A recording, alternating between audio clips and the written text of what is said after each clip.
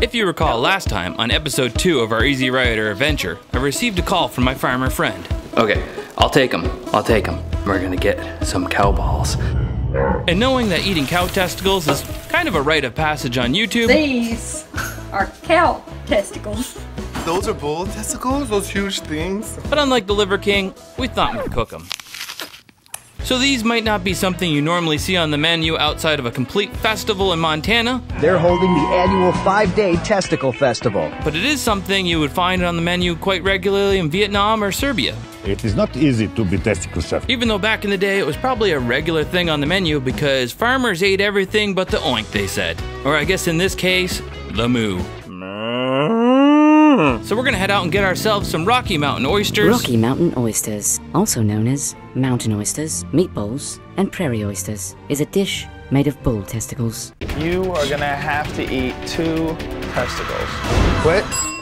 I quit. I quit. I quit. Got something special Chris doesn't know.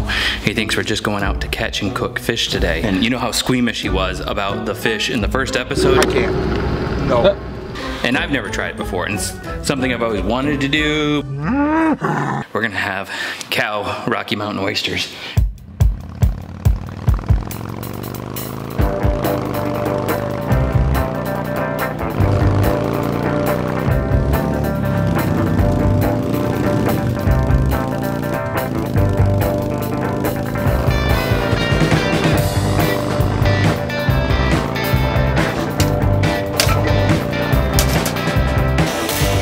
I bought a bike on Facebook. She came with a box of parts. Now we gotta get it running. So join me as I repair this old 77 Harley Davidson Sportster and take it on seven days of catch and cook adventures throughout the state of Maine.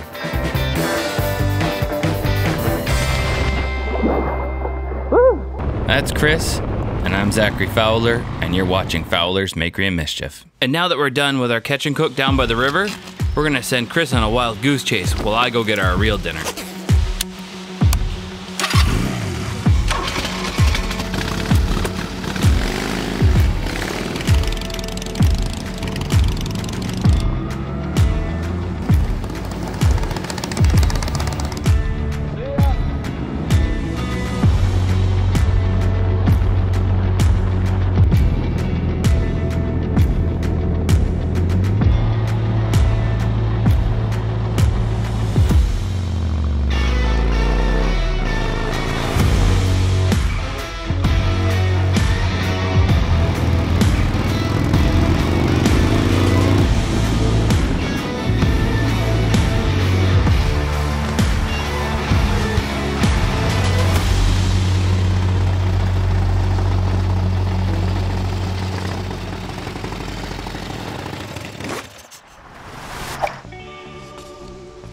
George's River Land Trust. I can take my time here and hopefully catch a fish.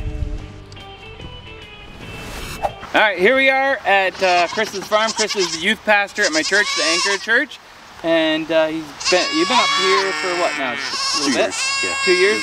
Yeah. Yeah. So uh, the goats are happy to see us apparently, and uh, he's got a bull that needs taken care of, and that's why we're here. Hello, turkeys. We're not here for you. Hey, turkey. Oh, look at they let you pet them. Hello. Hello. Look how cute they are, the little guys. They taste the best when they're that size, too.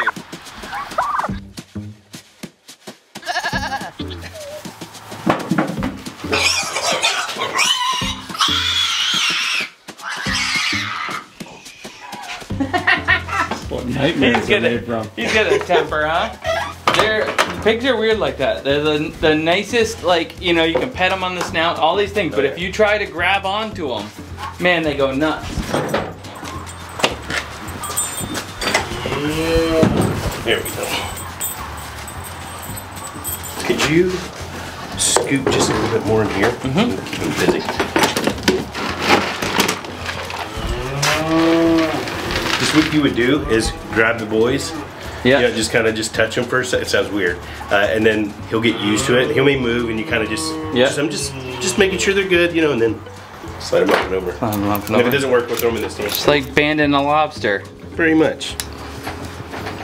They're gonna fit through there? I don't know now, but we'll find out. So we're gonna have to like pull them through. Zip tie 'em, yeah. So, All right, here we go. and then once it gets up, what you can do is you can just pull the band off, because like Yeah. just letting it down probably won't let it do it. So, What do you mean, just let go? no, just do like do like that. Oh, once we get it up there, get it just there? take a pinky and flick it And off. flick it off? Yeah. Is he, he's gonna freak out when I do that. huh? No, I me may. We'll find out. I don't All think right, here we go. have.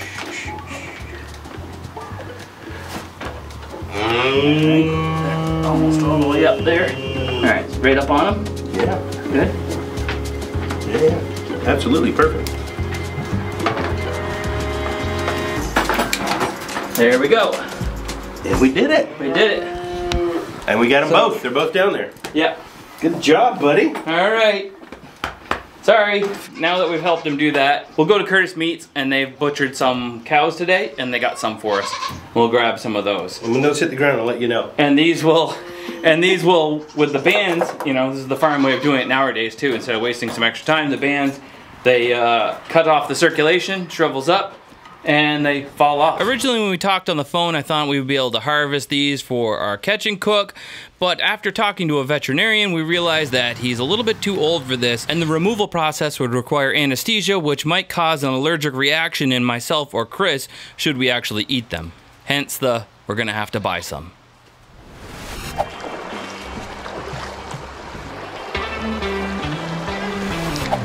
And we catch a big striper at night and we got stranded out there when the tide came in so we had to stay there till midnight. It was quite the adventure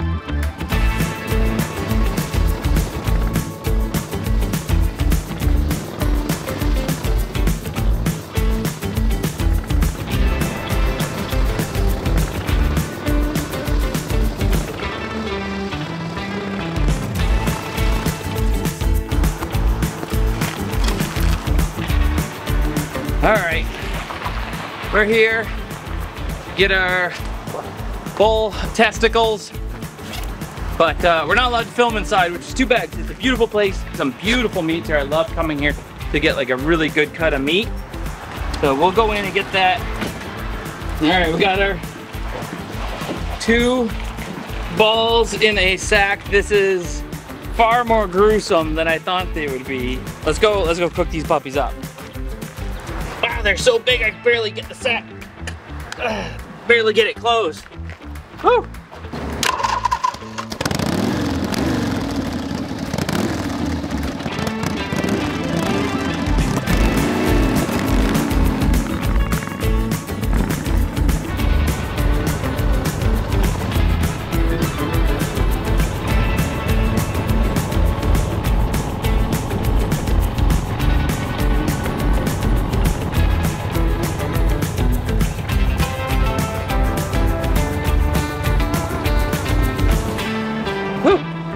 Nice when you're riding, but that jacket's hot as soon as you stop.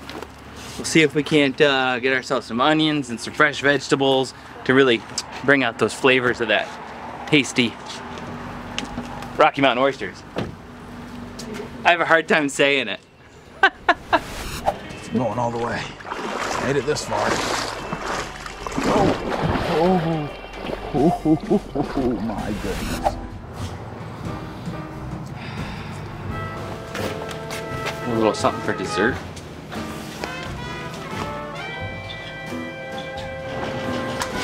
Got some uh, honey ginger and some honeycomb ciders. That'll help wash it down.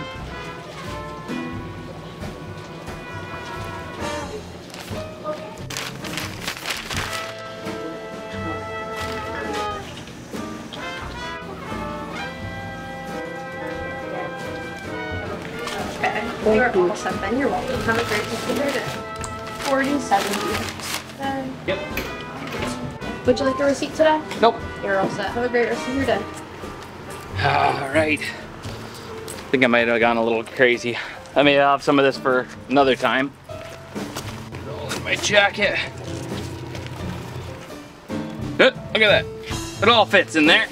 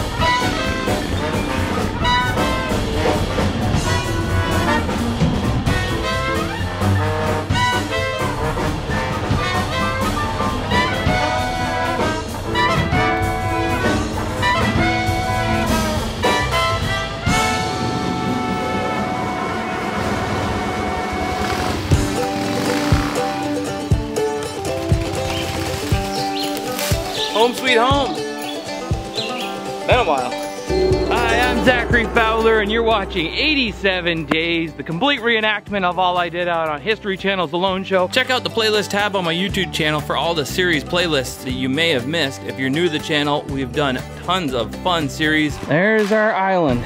Trick Shot Tuesday. I'm Zachary Fowler and this is the 7 Day Waterworld Survival Challenge.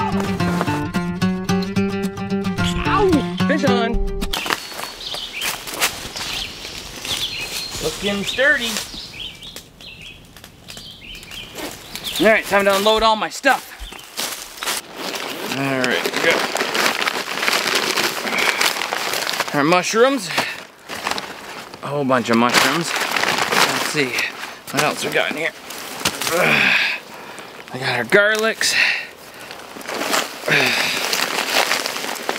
I got our bag, that stuff. Soda pops. Ah, popcorns. Now we need our balls.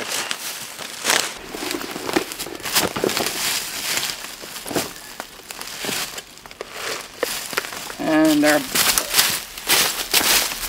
and our cow balls.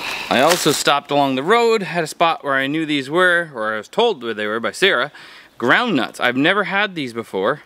Dug a couple of those up. I couldn't find a lot. I didn't have the shovel with me, so I couldn't really get into it. Used a stick. Ground nuts with, well, you know what. I did end up getting some dill plants, which is cool because I'll use the dill off of this to make a savory cream to go on our Rocky Mountain oysters. Ooh. All right, where to start? Oh, oh, it's Chris. It's Chris. Hey. Hello. Yeah, I'm up the river. I haven't caught anything yet, though. Okay, well, don't worry. I I got dinner. Just uh, come on up here. I got something.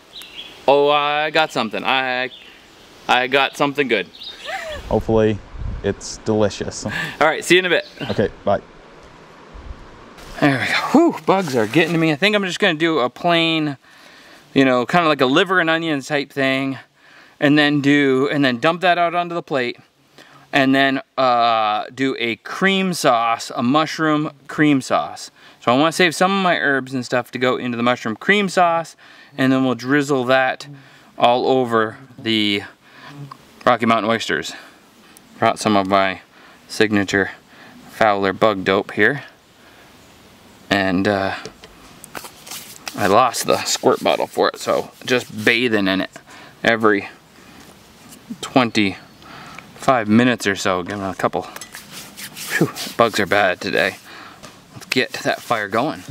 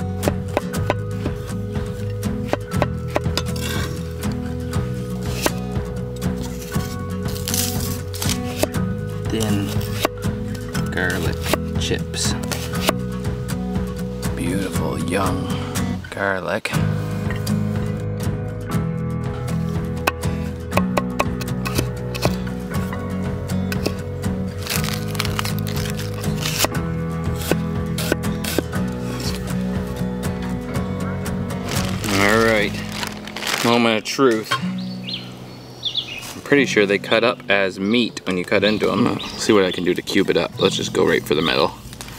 Cut it right in half. Oh. Just a big, it's like it's like got a sausage casing on the outside and when you cut it, it like fanned out. This would have been better if I had chilled these a whole bunch, I think. It seems they're hard to work with. Extra veiny bit higher on the side, I'll cut all that stuff off.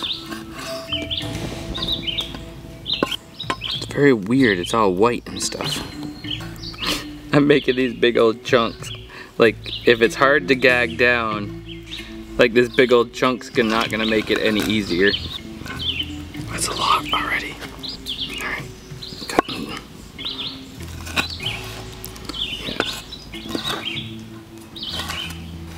Alright.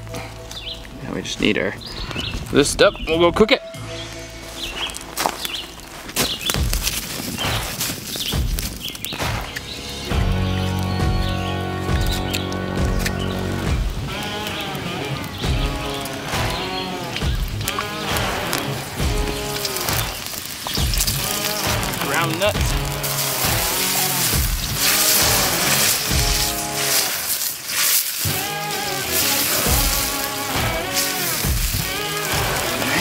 Go.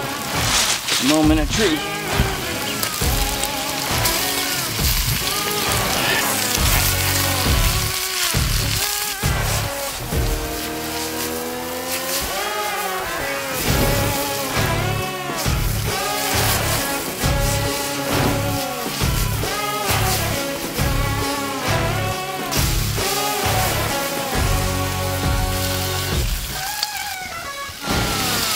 I hope they're good. I, I have no idea how long you're supposed to cook them. They seem like they're kind of rubbery. It smells rather farmy to me, honestly. Um, it doesn't smell like delicious cooked steak. Right? Alright, let's make the cream sauce.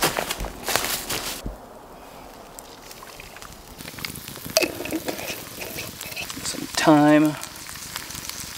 And maybe not as much rosemary this time, just a little bit. The basil, the mushrooms.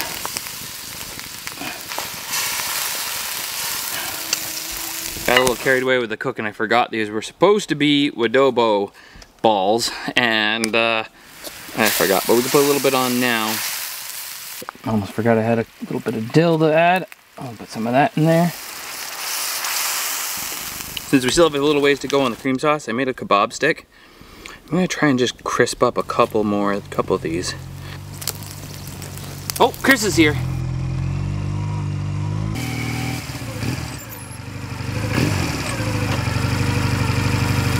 Hey! What are you cooking? Smells decent. Steaks? Yeah, it, it's sort of steak. Yeah, it's gonna be good. All right, let's plate it up. All right, here we go. A little cream sauce on the food. Oh yeah. Look at that. It looks awful rich. Awful rich. A little bit of that on the side for presentation. A little lemon if you want to squeeze some of that on there. Uh, little toasted ones on top. One, two, and three. All right, say grace. Lord, thank you for this food. Uh, bless this to our bodies. And uh, Jesus' name, amen. So what do we have here? It's uh, Still a surprise until it's I taste it's it. sort of steak. It's sort of steak. If you can guess, I'll tell you. it looks like some sort of, I don't know, It looks a little white, kind of like more like a lamb chop. And I I was actually just thinking mushrooms. it has kind of a muttony smell to it. Oh, like lamb? Yeah, it does. Oh, Mm. very good. Oh, that's so good. No, it's excellent. Yep. All right, let's give it a try. No more. Go for the meat first. Yeah. All right, dink it and sink it. Here we. Oh, Oh, here we go.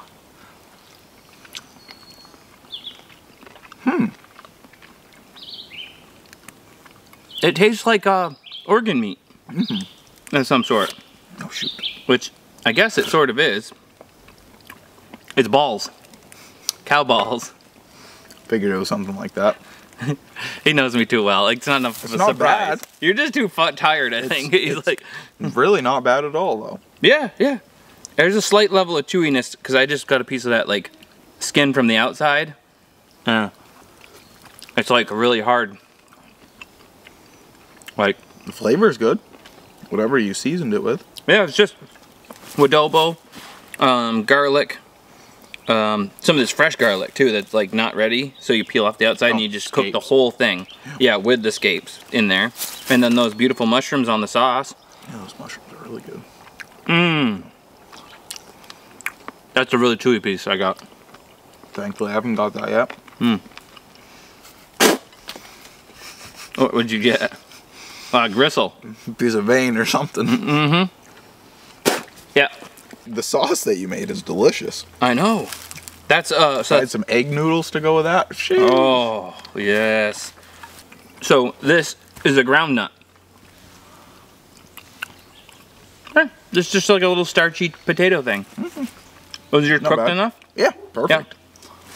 Yeah, in the cream sauce. That's really good. So this is just one ball. Oh, you didn't even cook both of them? No, because there's so much of it. that like Man could eat for a week off one So I wonder what like a little sheep one's like. If Chevy Chase and Funny Farm is to be believed, they're quite bite-sized. 29, the new record! Folks just don't seem to have a taste for testicles no more. Sheep balls. Of course, Hollywood took liberties and sheep testicles are about the size of a baseball weighing about a half a pound. And when it comes to the largest land animal, that's the bull elephant weighing in on almost 9 pounds with a diameter of almost 12 inches. That's the size of a respectable globe. And of course, the biggest ones go to the North Atlantic right whale, weighing in at 1,984 pounds on average. That's the weight of the Ford Fiesta in 1999 when it hit the showroom floor. It's almost like the uh, the trachea of if you were to cook the trachea of a freaking turkey or something. Oh, you got a little piece that was gristly? Yeah. Yeah. Want to try it, John? Need a biscuit. Sure. Testy. Test the test. One, two, three. Yeah. Testing, testing, one, two, three. Should've got a Testing mushroom testes. One, two, three. Yeah. Hmm. Not bad, huh? It's not bad at all. It's unlike any other cut of beef I've ever had. I can tell you that. I think I should have left it in and let it cook in the cream sauce though too. Uh, slow. Yeah. It could have that way it could have like softened up even more. We're trying to make a family show here, and I don't know that there was any special point to this, but doing this except for to show that Trying something new, you can pretty much eat anything, and we do. including Rocky Mountain oysters. including Rocky Mountain oysters. You know, people in other countries don't waste stuff like that. Like, I don't know why. I think here they probably don't waste it either. I bet you anything, if we were to ask them, they probably send a lot of this stuff out to be ground up and made into hot dogs that they sell at, uh, you know, no, you're right. Hannaford's and No, stuff. I've had tripe before. Have you ever had that? No. Next time on Fowler's Makery of Mischief, Pickled cow stomach. we're going for tripe. It may look disgusting, but I love a bit of tripe. What a surprise, though. This is your description of a surprise. Is Is um, is this what you say here, kids? Oh, kids, we got a great surprise tonight. You weren't even that surprised. You were just like, uh, cow balls. Figured it was something like that. Well, it's par for the course for you. Oh, I guess so. Tuck in for the night. Yeah, tuck in for the night, and Get then up early. we can stop by some gas station in the middle of the night and get something to eat, and uh, and then go get those um, get some squids. What what is that when you have the egg noodles and the beef and the gravy and the I forget what it's actually called. Beef stroganoff. Yes. yes, Thank it's you. a it's a beefy mm-hmm. oyster uh, of mushroom. Uh, accidentally You know what? Look like, at better. oyster mushrooms, Rocky Mountain oysters, ground nuts, and cream sauce. Well, that's it for us. We're gonna go to bed so we can get up and do some squidding. And uh, I think that pretty much covers it. I don't usually say it, but if you're not subscribed, think about subscribing. And thanks for watching. Thanks for, yeah, thank you so much for watching. Uh, I really appreciate that. See you guys in the next one. Fowler Chris. and Chris. Out. Honestly, the weirdest thing that I picked up from it's either you or your kids What? is saying it's colder than Say that. Burritos. I've Oh. never, I never said that in my life. Oh, burritos. Yeah, Like and I- burritos. the It's thing. cold out here. I have coined that as one of my terms. Yeah. It's Like- weird. See if Zach's goldfish is still in here. I think it's a survivor.